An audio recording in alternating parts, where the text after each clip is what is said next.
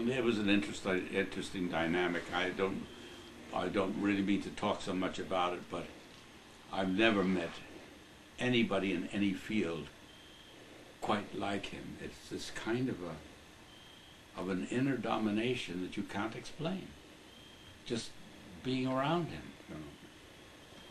Once in 1953, we went down to visit him on this island. It was called the little island, the Isolino San Marco, because that was the place where the San Marco Chapel had been built, and that was the whole island, was the San Marco Chapel and its little grounds. It was no longer a chapel, and it had been given to him by the Italian government for the remainder of his life. And they were the only family on it, and the chapel itself still had the kind of concrete things that you see in movies about 13th and 14th century edifices, you know, these thick. And we went down to visit, and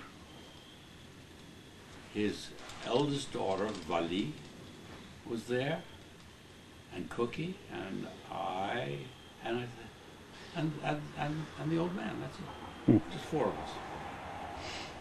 So we were sitting at lunch, and I was sitting at his left hand, and he's sitting there as he often did. It was in such a realm of concentration that you never knew quite whether you could address him or not, or what would happen.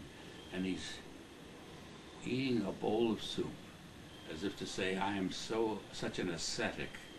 I don't need the kind of food that you, that you're eating. I'm just eating my soup." and he's eating there, and suddenly his spoon stops in midair. And he turns to me and said,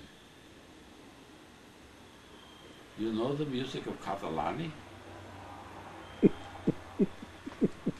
I said, Well, I know some excerpts from La Wally, Maestro, but I certainly can't say I know it. He said, You know La Wally a little bit, yeah? I said, Yes.